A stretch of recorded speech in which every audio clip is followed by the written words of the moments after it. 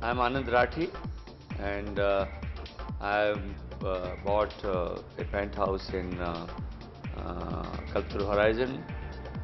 I believe this is uh, uh, the best building in town today and uh, the way this building has been made, uh, the layout is extremely good, the ventilation has been very well planned, uh, the height of the floors is uh, so good.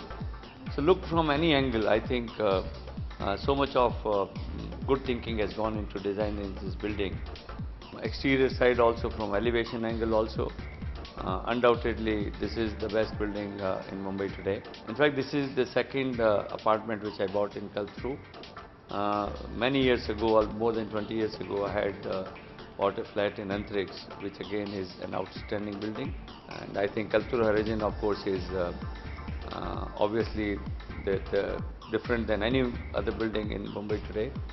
And I'm very proud that uh, I'm going to be staying in building.